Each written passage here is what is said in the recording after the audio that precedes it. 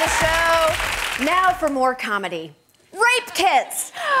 A traumatizing, invasive medical procedure for collecting evidence and then collecting dust as they sit around untested for years. There are an estimated 400,000 rape kits just sitting in evidence rooms from across the country that have never been tested for DNA samples. And those kits can be used to convict or acquit suspected rapists. More than 12,000 rape kits were untested in the city. Thousands of rape kits going untested in our state. At least 2,234 kits that have not been tested in Oregon. There are more than 2,000 untested rape kits across Virginia. And in Texas, we had over 20,000 untested rape kits. Oh my God, we get it, Texas. Everything's bigger there. God, give it a rest. You're not auditioning for Hoarders Rape Kit Edition. Look, is there anything worse than putting a woman through a four hour rape exam and then just stuffing the evidence in a closet? Of course there is. The Hamilton County Sheriff's Department destroyed some of its untested kits and had plans to destroy more. Out of the 333 rape kits destroyed by the Fayetteville Police Department to make space in the evidence room, 167 of them are tied to unresolved cases. Under current law, the state destroys the kits unless survivors file for an extension. Oh my God, stop, stop, stop, stop. Okay, you guys are taking the Marie Kondo method a little too far. Does this rape kit spark joy? No. Into the trash it goes. Thank you for your service. You want to see a map of the states where police can legally incinerate your rape kit before the statute of limitations expires? You're looking at it. It's all of them. But here's the good news bipartisan laws are finally being passed at federal and state level to chip away at Rape Evidence Mountain because catching rapists is the one thing everyone can agree on. Well, almost everyone. The ayes are 160, the nays are zero. Despite passing unanimously in the House, the Pursuing Justice for Rape Victims Act will never reach the Senate floor. That from Senator Renee Unterman. She uh, chairs the committee uh, that killed it. If there was a problem, I would be Johnny on the spot, and I would have written the legislation. Excuse me, I just have to consult my feminist rule book. Oh, here we are. No rape jokes, and don't be mean to other women. Oh, thank you for your service. Woman, have you lost your fucking mind?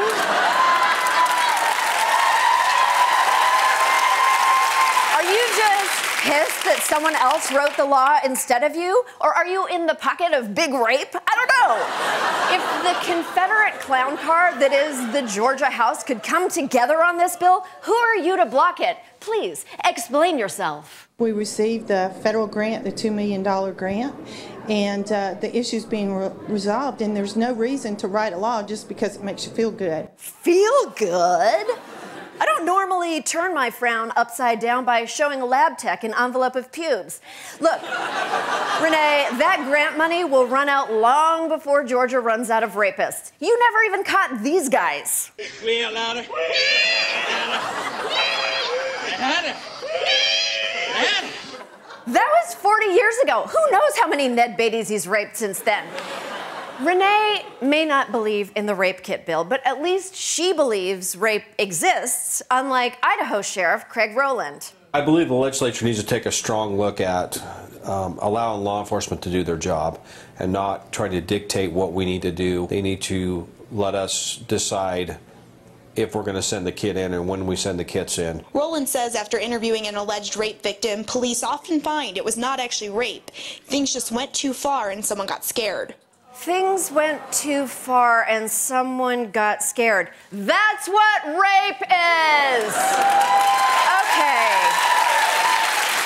Okay, person in charge of enforcing laws, want to try again? The majority of our our rapes that are called in are actual consensual sex. It's a 17 year old girl, and she had consensual sex with her boyfriend, but didn't know how to tell her parents. What does it do to her partner? Listen, you giant pink hamster fetus of a man. I'm sure the thought of actually heaving your ass out of that chair and chasing a criminal is exhausting. You can believe women are lying whores all you want when you're off the clock, but when you're the sheriff, you have to listen to rape victims. Otherwise, when the women in your county rise up and strangle you with your own stupid monogram shirt, it's going to be consensual assisted suicide because you're definitely asking for it. Most rapists are not college boys who were confused about consent that one time. They're serial rapists. And testing old rape kits is how you catch them. This report points to New York City, where 17,000 unsubmitted kits were tested.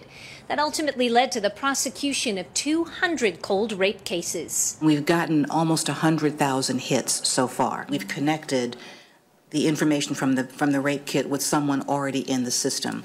This has allowed us to close numerous cases. See? These kits is actually making your job easier. What more do we need to do? Put a toy surprise in there like a Cracker Jack box? Luckily, the Idaho legislature unanimously consented to this bill. So let's all thank all the legislators who are passing bipartisan laws to prevent future rapes, despite, frankly, bewildering opposition from a few. By the way, um, nobody is running against either of these ding dongs in November because we don't care about local politics. So remember, local elections are a lot like rape kits. No one really wants to pay attention to them, but if you bother to open them up, you might just get rid of someone who's been screwing everyone in town. We'll be right back.